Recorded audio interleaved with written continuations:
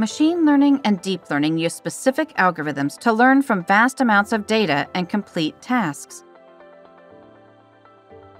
But how does it all fit together in AI systems like robots and self driving cars? Let's explore. You've probably heard of robots and self driving cars, but what about the Internet of Things?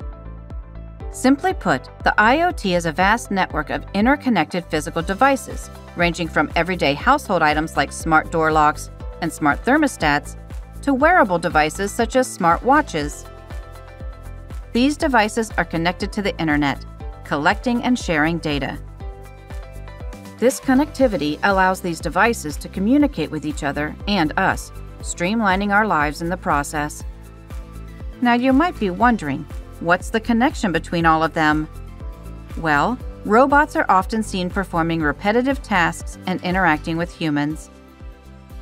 But they're also a goldmine of data. Every movement, interaction, and task a robot performs can be translated into valuable data. The internet isn't just about your smartphone or laptop. It's much more expansive. The internet has woven itself into our everyday lives. From connected homes to smart appliances, the internet is everywhere. Imagine a refrigerator equipped with technology that knows exactly when you're running low on milk and sends you a reminder to pick some up on your way home.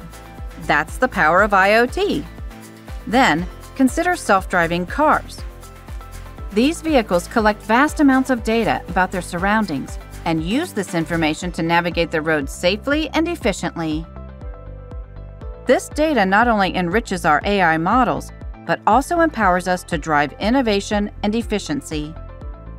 So the next time you think about the physical world connecting with the virtual world, remember, it's not just about convenience. It's about harnessing the power of data to make our AI models smarter and our lives better.